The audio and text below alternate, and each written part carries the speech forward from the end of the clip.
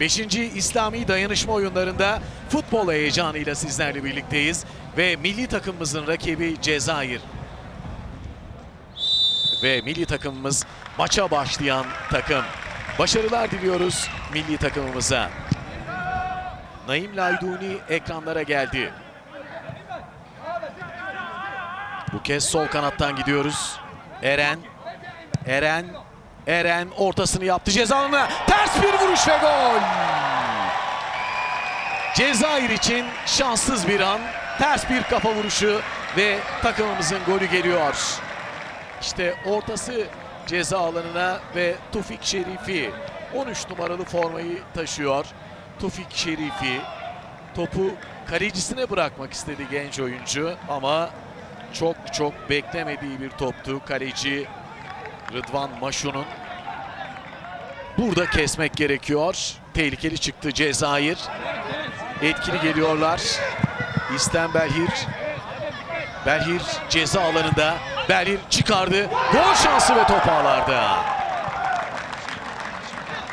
Belhir'in pası ve durum 1-1.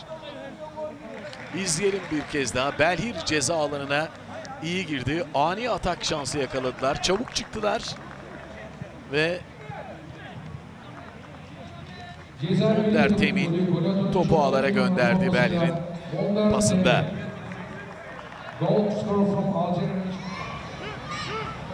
Eren Aydın. Eren Cihan ceza alanına giriyor İsmail. Orta geldi ceza alanına. Eren Karadağ. Eren vurdu ve top dışarıda. Eren Karadağ ile gole çok yaklaştık. İzliyoruz. İsmail çok çalıştan güzel bir orta. Eren Aydın. Eren Karadağ kontrol ediyor ve top dışarı gidiyor. Şimdi işaret geldi. Cihan geliyor. Cihan kaleye ve Rıdvan. Kaleci Rıdvan Maşu çok iyi çıkardı. İslam Belhir sağ kanattan hep etkili geldi ilk yarı boyunca. Belhir, Belhir vurdu ve top az farklı dışarıda. Müthiş bir vuruş. Çok güzel vurdu. İslam Belhir. İsmail çok çalış. Bir kez daha top dışarıda ve maçı bitiriyor karşılaşmanın hakemi. Türkiye 1, Cezayir 1.